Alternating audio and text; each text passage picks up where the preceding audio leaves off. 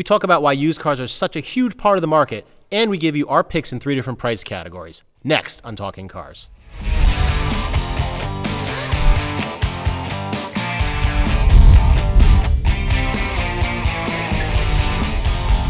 Hi, everybody, and welcome to another episode of Talking Cars with Consumer Reports. I'm Jon Linkov, I'm Jake Fisher. And I'm Jennifer Stockburger. and you can see that we have a, a whole new setup, but we've been listening to the comments because we have new mic stands, we're, we're looking at different filters. We, we heard that everyone wants to see our pretty faces. So here we are. We're, we're trying some new things every week and shaking it up a little bit. And there's going to be changes over the next couple weeks, but please, we're going to roll with it. Let us know in the comments. Let us know what you think of it. Um, and, and as part of the change up, we're not going to be talking about cars that are in our fleet today. We're going to be talking about used cars because used cars, huge part of the automotive uh, universe. Example, in 2015, 17.4 million new cars sold. Do you know how many used cars were sold that year? You're going to tell Hazard a us. guess? Hazard a guess? Uh, Probably Three, three- times. Oh, you studied. 43 million used cars were sold that, that year. 44 million used cars were sold in 2016. So it's a huge part of the world. And I think, like Jen was saying at at one point, a lot of people obviously buy them because it's the only option for them, right? Right. They can't. They can't even fathom 25 grand or 30 grand for a new car. They just can't do it. So, I mean, there's this weird uh, opposite thing going on, right? So, people are buying used cars, but everyone's talking about new cars. Yeah. And we talk about new cars all the time because of the shiny new thing, right? You go to the auto show, there's no auto show for used cars. Um, maybe there should be because there's a whole lot more choices in the used car market. Exactly, exactly. Well, it's all the cars that you know people have, uh, you know, been leasing. You know, they traded. They, they're Right. done with the three-year lease. They bring them back. They lease something new. A lot of cars people trade in. They're good vehicles. They're solid. You know, they took care of them, and they're out there for people to buy. And like Jen was saying, yeah, the new car right now, thirty-three thousand dollars, thirty-five thousand dollars is the average price. That's a ton of mm-hmm. money. Mm-hmm. So, And the choices you have for used cars have never been greater. So I mean, there's new ways of getting used cars. I mean, you could go to Craigslist, you could go on eBay Motors, you could go, and, and, and, and to the point of leasing, leasing has really exploded in the last several years. And what that means is there's tons of these cars in the market. It's not about getting the used rental car because you don't know how that really went. But you have these certified pre-owned vehicles that have about 36,000 miles. They've been taken care of, and they actually come with a manufacturer warranty. well, especially the certified. And they're not old. They're not even old. Three Three, years years, old. four years old. That's right. Right, exactly. Yeah, yeah. And some of them are even off of a two year lease because some people can only get into a two year lease to be able to, to lease something. And the certified ones are in particular really interesting. I mean, for, for years we talked about don't get anything with a certified warranty, you know, don't get an extended warranty, just buy the reliable car. And it's true. You know, buy that Honda Accord and don't get the warranty on it because you know, nine times out of 10, and our reliability data shows it, it's going to be a solid car. And you take that $2,000 for certification and you put it in the bank. But you know what? If you're taking a risk on something, or if you just want that extra, you know, backing of having the warranty, it's, it's, if you know about it up front, go ahead and do that. And those are the cars that the dealers take and, and they certify because they know they're already in good condition. Well, I mean, I think it's really important to sep- separate the two things about the kind of the traditional used car warranty and the certified pre-owned vehicle. sure. So, I mean, it used to be you go to a used car lot, you know, it is John's, you know, special used car, the wavy like guy, this, yeah. right? And I mean, these cars, you have no idea what happened, and you're paying extra for this used car warranty that covers this but doesn't cover this, and and who knows if that place is going to be around.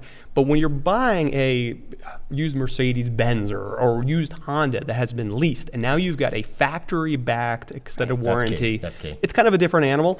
And if your alternative is buying a new car, you know, a lot of people they don't want to get a used car because there's risk involved, right? I mean, they don't want to have somebody else's problems. They don't want a car that's under warranty. They don't want to get off to a new transmission or whatever these, these Oh, sure, issues sure. are. But these cars, if you do your homework, you get a car that's reliable and the car that's actually backed. You're, you're almost getting the same experience as a used car, uh, as a new car. As a new car. Yeah. Right, right. Well, and you know, just if there's if there's any other reason for why we're talking about it, just think of this some some numbers for you. The wonky, you know, a little boring, but it, it's, All right. it makes a big point I'm tuning, tune out, everybody. What are Average- you doing? Average price of a new car thirty five thousand dollars. Okay, Right. value after six months thirty one thousand. Well, oh, so it's immediate. Yeah. Value after one year twenty eight thousand. Value after three years, so that car that just came mm-hmm, off a mm-hmm. lease, seventeen thousand nine hundred dollars. Wow. So It's it's a lost huge jump. fifty percent of its value in three years. Sounds like the a average great car. investment. Sounds like a great investment, right? You know, then Whereas- sign me up for another one. Whereas when you get a used car, you're not going through that at all. You're getting a car that, that has lost its value and it's just it's a much slower decline. So so you might get a nice three year old vehicle that's lost fifty percent of its value. After six years, you know, it's lost much less. You're not cutting your, your value in half again. And, and particularly for you know people who, with kids getting into a car, you know, you would like them to get the newest car possible, of course, right, Jen? Yeah, we'll talk about that when I get to my picks. Okay, so we so won't yeah, I anything bring that away. in. Don't give it away yet. Okay, Yeah, we'll- I'm we'll getting keep- there. but it, but it, but it is it's the option that most families have for for a car. Yep. You know, and and that's where a, a huge part of the market is going to be. You know, a student in high school or someone who's graduating college, a lot of debt possibly, or just you know starting out in the world. Right, first job. Yeah. You know, that's that's key. So that's why you know ideas like that, reasons like that, are why we've we kind of taken a look at this because most people buy by price. Some people buy by style. I, I want an SUV, and then they go that way. But mm-hmm. you know, what? you know your budget Yep. and you fall into it. So we've we, we, we put out the question. So what if your budget was ten thousand dollars, fifteen thousand dollars, or twenty thousand dollars? What would you buy? And we're going to start at ten thousand. And we haven't shared this yet. We haven't shared this with- so it's all gonna be We don't know each other's picks yet. Yeah. It's all going to be an E E30 don't M3. lie. Yeah, don't peek. Uh, or, or Audi RS4, right? Stop. right? Stop. So anyway, I'm going to throw it to Jen first because I want to know ten thousand dollars. So Okay. anywhere up to ten thousand. Your budget. What would you choose? Okay, so I picked, and again, we're, we're choosing some from our used car data, cars that are kind of our good bets. So I picked a 0809 Hyundai Sonata. Okay. So the reason I picked it is when you start in that under 10,000 range, as you would expect, it skews way over to subcompact compacts. Sure. Stuff that was inexpensive in the first place. Sonata gets you a little more room than some of those. I think the used car, I mean, it's a great value when it's new. That keeps going into the used car market. Sure. You touched on, and I'm going to say it here, we are just starting to see, again, and I've said this before, as a mother of a young driver, it's the first time we're starting to see the standard ESC cars come in under that 10,000 mark in, in volume. There, were, there was a few, Right. but now you can get a car with standard electronic stability control for a young driver under $10,000. And that's that's a life-saving safety feature. Right, I mean, and- it's the new, the modern safety belt. Right. If there's nothing else we've said for a teen driver or a young driver, you got to get that. The one thing I noticed on the Hyundai too is we publish a range for those 08, 09 Sonatas. It's getting close to the $5,000 mark at the base of that mm-hmm. range. You compare it to an 07 Accord, a year older, mm-hmm. and that's 7,500. So Right. you're already balancing against the more reliable names. I think you benefit somewhat from Hyundai's still reputation that it still battles with in the value. So that was my pick, Hyundai Sonata. Yeah, they made it. They made a, a good car, and they a just great car, yeah. had that the baggage of people still thinking when they came over Yep. Back in you know the eight, late '80s, early '90s, and, and they were putting out just just Yeah. garbage. And I still hear it. I don't know if you guys still hear it, like, oh, Hyundai, oh, Kia, you know, you'll get that Oh, comment. they do have that reputation. You do. yeah. They They do. do. They do. And I'm like, no, no, no, it's not the same anymore. So That's right. Jake, what have Yes. you got? Well, first of all, yes, I did cheat. I used Consumer Reports information, and you know, I mean, look, I mean, our, So, or you know, so we, we have a lot of products on that. We have a whole robust, uh, you know, rollout basically of used car data. Yeah, I mean, if you're paying attention on Consumer Reports online, I mean, even even if you're not a non-subscriber, um, you could go on there and you could see basically every single year of the used car. You could see what goes wrong with the cars. Uh, we put a lot of free information out there too, Yeah, which is kind of information. Well, and, and a lot of like uh, what people think about those cars, what actually experiences they had with reliability. So it's all there. But um, so uh, let me preface this that this is not my car. This is my advice to a friend, and I say that because I would probably get something wacky like you know a you know early '90s RX-7 or. Uh, something. V8 classic of some something Yeah, like exactly. Yes, so I yes. mean, nobody really knows wants to know what, what what I'm getting. But I mean, if I, if someone came to me and said, "I got 10 grand, I want to buy a car," um, 2010 Mazda 6. Yeah. Um, I mean, again, this is a car that's got sta- it's got stability control. Um, it's got unbelievable reliability. You can get them with a six-speed manual. Um, that's they're actually available, and that's a great transmission. Really makes the car really fun. But you know, roomy. It's it's a- it's a good choice. Yeah, solid vehicle, solid. I I, I put a couple couple options in each one. Oh, so you're Oh, cheating Because I set Ooh, up the. Overachiever, I set up the questions. It was, you know, I'm hosting. I it's it's it's my I shiny, how it is. my shiny bald head that gets to be seen My most of the time. Um, so a couple categories: 2010 to 12 Mazda 3. I chose the 10 to 12, even though there's other ones that are reliable, because of crash tests. The side impact crash tests on pre 2010s Mazda 3s Yeah, was not was good. not good. Yep. So good fuel economy, good crash test on that one. And then you kind of toss it up between an 07 Accord, a Honda Accord, and an 07 to 09 Ford Fusion. You know, same class, family sedan, um, you know, reliable. This, the Accord is the final year of the run, and I chose it specifically for that one because we often see that the final year of a car when it's built Oh yeah. It's one of the is best. when they've worked out all the problems. yeah. Sure. You know, and it tends to have the most equipment. They, they're okay, fine. We'll throw that in as well. That used to be an option and on the base one, and it was standard limited. Now they all get it. So those those are three one three there. I'm looking at it from a family perspective. I mean, I've got two Yeah. little kids. You know, what what would I I get? What what I recommend to me if I was standing outside Right. my body? And also, you're just recommending all the cars. you know, Yeah, well- like- any other ones you want to? I did have a couple others if I if I uh, you know undid my edits. I think we'll roll through. But I have a couple more in the next group. So. okay. Okay. So Jen, what if you were able to bump the budget up? Okay. Okay. So now you're looking at fifteen thousand dollars as your ceiling. Okay. You know. So, so my take here is that used cars also get you the car that you really always wanted new, but could never afford, that reach car. So I put in there an Infiniti M, 07, 08 M. Yep. Yep. So you think of a brand new Q70, 50K. Right. Like, that's not happening. But as the M, which we liked from even early, we loved that car, the balance, you know, that it gives you the chance to get that car you always wanted, couldn't afford. And in my case, I need the all wheel drive, so that was a cool thing for that one as well. Right. That was available. So Yep. rear wheel drive or all wheel drive. Yep. So Yep. okay. Jake, what about? I like Jen's pick. Oh, you I'm did. gonna- I'm I'm gonna- gonna- no, I, and just to say, Oh, I mean, you guys didn't. didn't No, no, no, no, no. No, That, that wasn't my that's good. pick. No, Okay, I'm, I'm, okay, I'm, I'm just saying. I think her, hers was better than mine. And, and for anybody who's familiar with that car, that is the old Infiniti. I mean, that was an Infiniti was awesome. Right. I mean, they were just like head to head with BMW Yep. and Mercedes Benz. The interior quality just blows away current Infinitis. I mean, Yeah. it's just a really, really. I think the infotainment car. system in today's Infinitis is the same as back then, though. I think it, I think it was better. I think it was better back then, yeah. Well, it worked more. It wasn't was more- overly complicated. It was more reliable. Right, yeah, right. it was good. Anyway, okay. No, my, my choice was the M.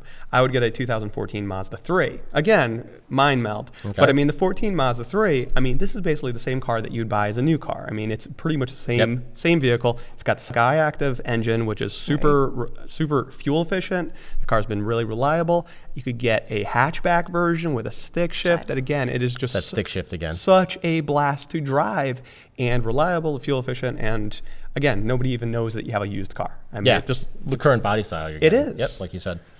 Yep. Good choice. Um, Not as good as yours. As your four. that's my Yeah, choice. how many you actually there? five. If you No, he want ran to. out I of did. I, he ran out of room on this. I didn't want to have to tab over. So, uh, 2007 to 10 Acura TSX because that was one of the last cars that Acura had its mojo. Hmm. It's it's a little small. You can get a wagon, so that's the journalist's Yeah, love. yeah. You know, you get a There wagon. you go. Okay. It was the European Honda Accord. That's right. So you, you have this sporty car. It has luxury-ish features. You know, you, you can get some luxury with it. Oh, yeah. Reliable. Again, super Yep. reliable, but fun to drive. Um, if you wanted some luxury at, a, at a, a bargain basement, kind of like your Infiniti M, Hyundai Genesis from 2009. Right. You know, again, Yeah. Mm-hmm. even the new ones flies on the radar. No one would really. I mean, the, the grills are a little different, but you wouldn't really know the difference. Uh, a lot of features for the money, um, and then also the family thing, an 09 Odyssey or a Sienna, and it's kind of a toss-up. Yeah. Uh, you know, Well, that's that's a lot of vehicle for the money. it's a right lot of vehicle for the money, and you get 19 miles per gallon, and and you could get all-wheel drive with this Toyota Sienna. Right, and we're talking about you know Nissan Versa prices. Oh yeah, exactly. I mean, you know, fifteen thousand dollars. Right. You know, maybe you'd be happy to get a Honda Fit. Right. No, you know, that would be tough. You know, That'd be to, tough to right get that. there, yeah. So you're Right. getting a vehicle for seven, possibly eight people, depending on the on how it's set Sure. up. You're getting you know reliable car, um, and for the Northeast, like you said, you know people who need you it for snow, it. you can get all-wheel drive. Yep. So top of the budget, twenty grand. 20 you know, grand. We're, we're still not at the new car prices anywhere, you know, for average, but twenty grand is a lot of money to spend on a new car. Yep. On a used car, excuse me. Yeah. What would you What would you buy? Okay, you, you touched on a li- this a little bit because the other thing that used to let you get is the bigger car. Right. So I always love, and you'll laugh, and you laugh, but I like that Ford Flex. You talked about wagons. I and the Flex I love the Flex, and I do. And again, big kids, t- so much room. Big appetites. And, I am a wagon. I just like wagons. It's Yeah. kind of this retro love that I have. And so you could put seven adults. I mean, we still say when there's minivans and three row stuff here, we're Oh, fighting sure. over it. Mm-hmm. Because so if you could get that for the under 20, the reliability is good. Um, one, and again, I looked at Sienna too. That same idea. It's a year later when Right. you get up to the 20. One thing I did notice though, so in our used car content now. You can actually look and see if there's inventory in your area. One of the cool things is, is can I find one near Right, me? right. It's all good to, to have this list, but if there's nothing around, Right. you have no idea So where you to click start. this link, and guess what I found on the Ford Flex? Um, none available because they're so popular. None available because they're so popular. Because it's just you that likes so them. it's just because You have them all in your. So there is that risk there. So I would have to expand my search area. right, right, but right. yeah, But that's where it's worth it with a used car. Right, you know, you could do that. You, you get you're, you're not doesn't matter the deal where you buy it at that at that point. I've had two special. friends who have literally flown across the country, picked up a used car in climates that might be even a little better than the Northeast with no salt and all that, Sure. and driven the car back. Two.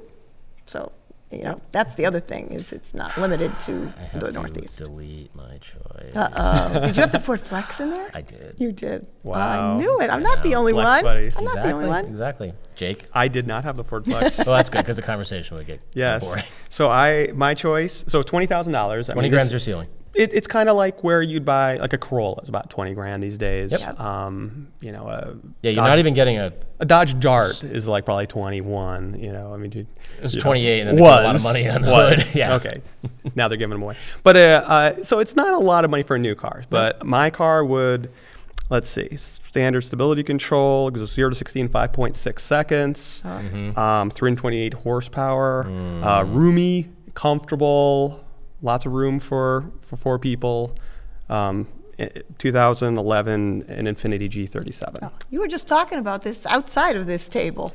Yeah. Yeah. Just, it's just it's an incredible Yeah. car. I mean, Yep. it, it's back when you know again going back to Infiniti when Yeah. they, back when make Infiniti Infiniti, great again, right? Yep. You know, make but I mean Infiniti just I mean it was right up there, three series, Oh, yeah. um, A4. I mean, just like head to head, just but but extremely reliable. Right. Uh, the reliability we have on those those vehicles, 2011, just stellar reliability.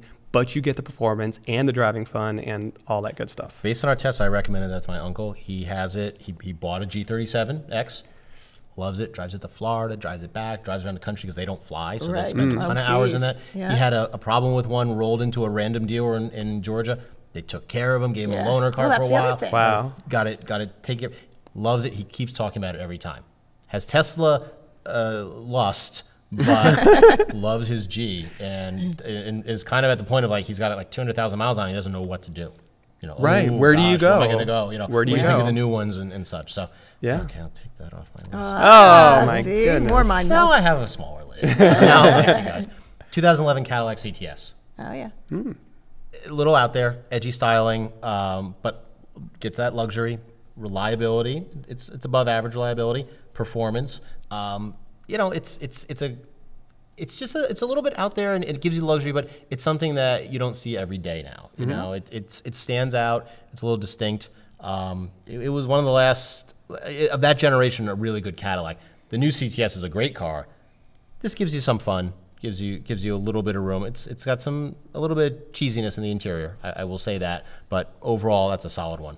Um, and family car, I, I have to give a little bit of love to the Acura MDX that's in my garage. My wife has an 11. Right. The 2010 was a good car, sporty ride, good handling, um, tons of buttons. So if you like buttons in your car, I think there's like 47 buttons all over the dash, um, and it has a, a, uh, a knob as well, you know, central controller. So you get both of those. Um, strong engine. So that that's my choice. I have a friend has one. Her teenagers are now driving it. You know, it just keeps going and going and going. Yeah, it does. I mean, we, we don't drive it a lot, so we have low miles on it. Yep. But it's it's paid off, and it's one of those things where like, what will we get, you know, for this? Oh, sure. Yeah. And my wife sits in all the cars that I bring home. She's like, there's, there's really like nothing. I'm seeing that's that's going over. Well. I mean, I mean, look, I mean, it's like we have older cars. I mean, again, it's like, what would you get? It's like, look at what we do have, and you know, again, you know, my wife's driving a 2006 Toyota Prius, 125,000 miles. It's got stability control. It's got Bluetooth. It's got a backup camera. Yep. It's had no problems, nothing. Right, and we, then we had the Prius we brought in with 200,000 miles on it, and, and the performance drop was insignificant. Right, still getting 40 two miles per gallon. 40 I miles per gallon. Exactly. Yeah. Exactly. So, um, with that, we do have a couple questions um, that, that people sent in to us, and Mm-hmm. and one of them is right for you, Jen. In fact, I, I Oh. think I think you might even know who, who about a sent it fusion. to. Um, I, I love the 2015 GMC Camry, uh, Canyon, excuse me, but that mid-sized pickup truck, and you guys seem to hate pickups because they don't drive like cars. Though they're not supposed to either. they're trucks, and I don't you know, you guys don't understand why people like them. And Oh. I think someone's a little confused. Is that my husband? I think that's my husband. it sounds like Jack. I think it is. It's the Canyon and Yeah. not what he drives. No, so so that is my husband for for you guys. That is my husband. He drives a 2012 Nissan Frontier, and he loves his truck. Now I will tell you, he loads the bed maybe 10 days a year, really. So the other 355 days, he's using it to drive back and forth to work. We're pretty rural. We have horses. We need the bed sometimes. sure. And he's, you know, an outdoorsman. He really likes it. But that's, I think, why we rate them the way we do. We don't expect anybody to, to um, think they're going to be like cars, but we certainly want to make that comparison because for most people, they are using them more as a just transportation than they are as trucks. Right, If and that makes any sense. Yeah, well, it's first of all, it's, it's relative Yeah. ride, relative handling. Right. No one thinks that your your husband's truck is going to ride and handle like this Mazda CX-5 over here, you know, or, Right. or a Tesla, or even a Toyota Corolla. I mean, they're all different categories. But you know, and, it, and the question came really from talking about the Ridgeline. When we do test all the pickup trucks in the category, something's going to stand out in some place, and ride is one of the big ones, right, Jake?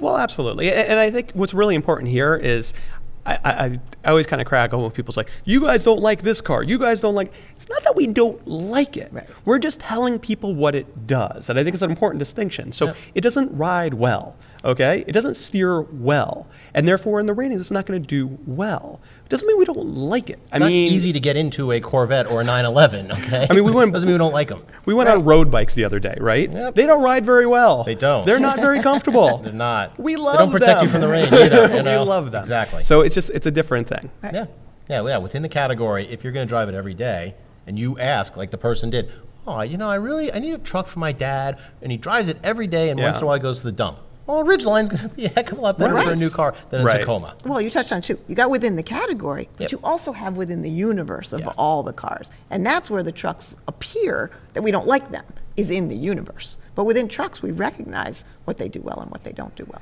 Exactly, exactly. Other question uh, we have. So you say that all-wheel drive doesn't help you when it comes to cornering.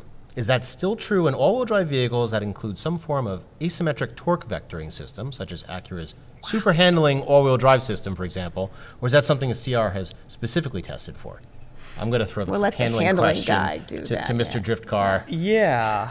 Um, yeah. It's it's a bit of a gimmick. It really is. I mean, look, we, we take all the cars around the track. We take them, we push them at their limits.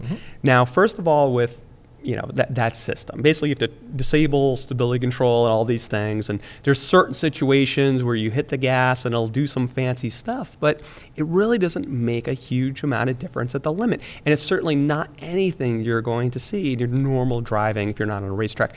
And and even if you are, there are cars that are normal all-wheel drive mm-hmm. that are still going to be handling better. I mean, you know what? All-wheel drive. Look, give me a Audi A4 on the track before one of those the the Versus fancy my MDX with the SH all-wheel drive. Yes, yes. A4 versus MDX. Yeah. yeah. And that's that's the thing.